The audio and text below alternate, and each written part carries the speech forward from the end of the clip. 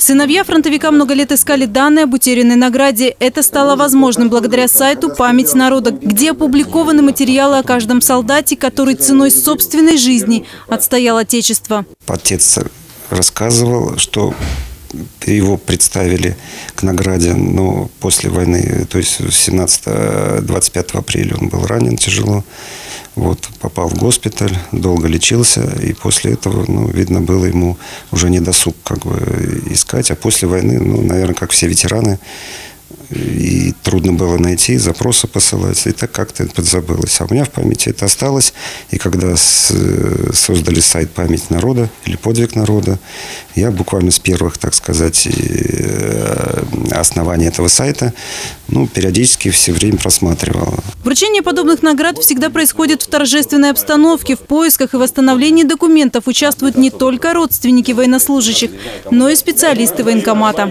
На сегодня это, наверное, вот эта победа, вот фронтовики, их мужество и героизм – это наше знамя, наше знамя единства нашего государства.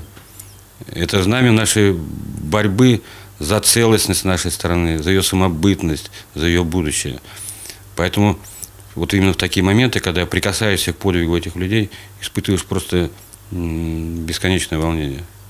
И, гор, и гордость, гордость. Орден Красной Звезды вручен семье героя. Он будет передаваться из поколения в поколение. Это память о подвиге великого народа. Эта награда должна э, прежде всего лежать в семье и переходить от поколения к поколению.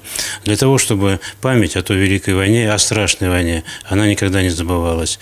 А весь наш народ, он, конечно, отстоял и трагические, трагические дни, которые были во время Великой Отечественной войны, э, восстановление народного хозяйства, э, оно, оно показало то мужество, ту преданность советскому государству, которые наши ветераны, наши отцы и деды пронесли по своей жизни. И они до сегодняшнего дня это эталон, эталон, на который надо равняться, потому что у них убеждение одно – любить, защищать свое Отечество. Поиск наград продолжается, еще немало пустых страниц современной военной истории, и каждая будет заполнена. Мария Шматкова, Артем Ломоносов, телекомпания «Одинцова».